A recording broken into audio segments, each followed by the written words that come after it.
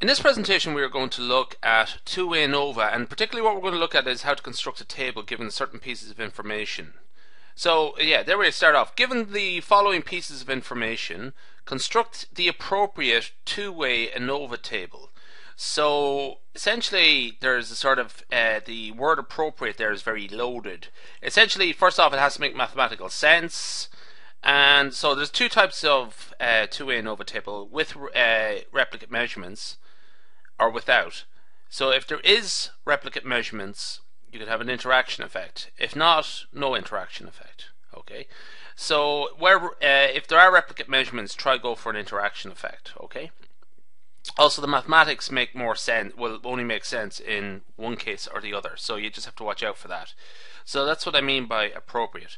So two-way ANOVA table. What we're given is the first following pieces of information.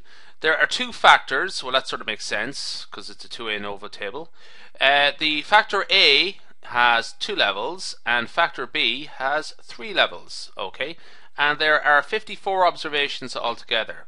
So think about that for a second. There are six. I'm just going to scroll down here for a second.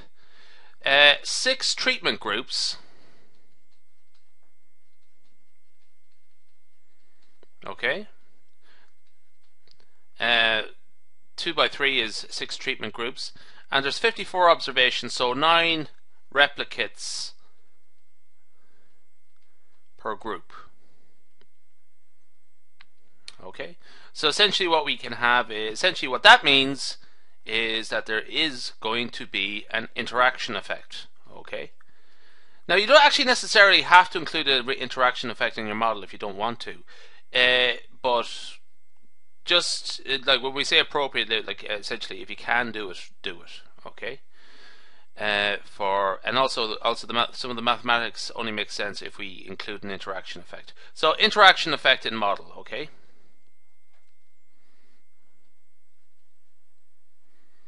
In our table. Okay, so that's that part taken care of. Also, just another remark we can use these values here to compute the relative degrees of freedom. Actually, we'll start off our table now, actually.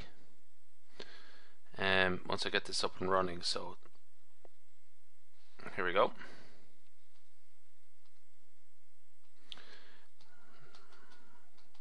No, it's a bit jammed up. I'll tell you what, I'll just, there we go. So what we'll do is write our table here, I'll construct it on this page. So, source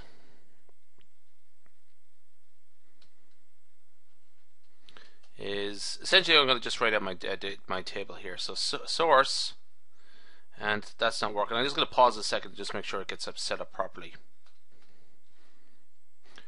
So there we go. So the source A, so I've unpaused it now and I sort of have this page ready. Source B, okay. Now we have AB and also the uh, residual term, okay. And I've just realized I forgot the row for totals. So uh, residual and down below it total.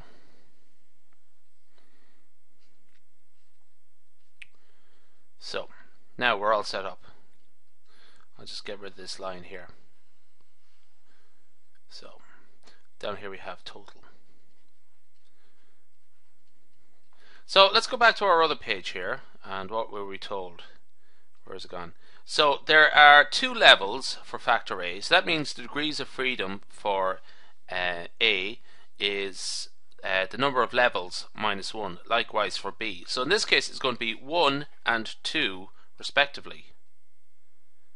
And where is my page gone? There we go. So it's going to be 1 and 2 respectively.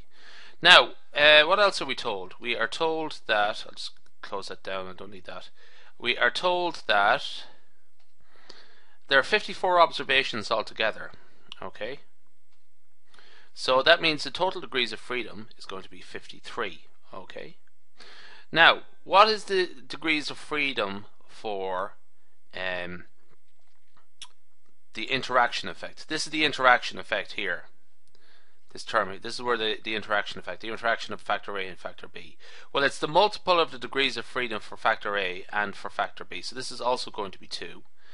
And the degrees of freedom for the residuals, essentially it is 1 plus 2. The, all the degrees of freedom have to add up.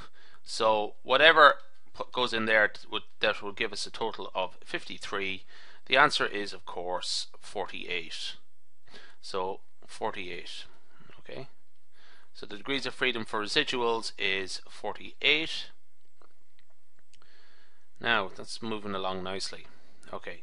So let's go back to the uh, see what other pieces of information we're given. So we actually were given a lot there already. The variance of the response variable is uh, 174.2041. Uh, okay. Now, I am going to allow for a bit of rounding error. So I'm just going to take a very, uh, uh, allow for a good bit of rounding error. So if your calculations are a little bit out, don't worry. I'm actually working off computer software, which gives me very precise answers, but you probably wouldn't get such precise answers with pen and paper. So the variance of y is ss total over n minus 1. Okay.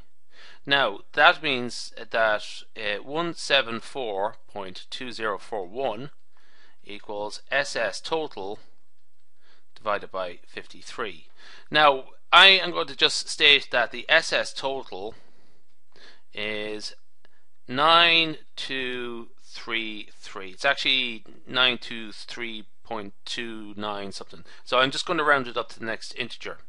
So nine two three three. So we're going to put that in our table here. Nine two three three. Okay. So um, we're not we haven't gone through all the information we've been given yet. I'm just sort of going through step by step. So the sums of squares for factor A and factor B is 451 and 2034. I'll actually just sort of make that bit clear. That's 3 there. Okay, 2034. My pen has turned blue. Let's put that in there. So 451, uh, 2034. Okay, but do we have enough information yet for these? Not enough yet. Uh, let's keep going. that the next piece of information, oh yeah, the sums of squares for residuals is uh, 5745. 5745. Okay, so now we'll be able to uh, deduce what this is because SS, hang on, I have it on the next slide here. Um, SS total is all of the other sums of squares added up. So sums of squares of A plus sums of squares of B plus sums of squares for the interaction effect and sums of squares for residuals. So this is just a little bit of calculator work and if we were to work it out we would find that the sums of squares for the interaction effect just by uh, simple deduction is 1003 and again rounding for a little bit of rounding error. Okay, uh, so let's put that in there just got rid of my red line. Here we are. It's not red. So 1003. Okay. Now we are able to do the um, mean squares. This is pretty easy. The mean squares are essentially the sums of squares divided by degrees of freedom. Uh, for most of the cases, we don't bother with the total one. So we only do it for this one, this one, this one and this one. We don't bother with the mean square for total. So let's just add them in. So 451 divided by 1 is pretty straightforward, is 451. Okay. 2034 divided by 2 is 1017. Okay. Um, 1003 divided by 2 is, allowing for a bit of cal uh, calculator, or is, what is it? It's 501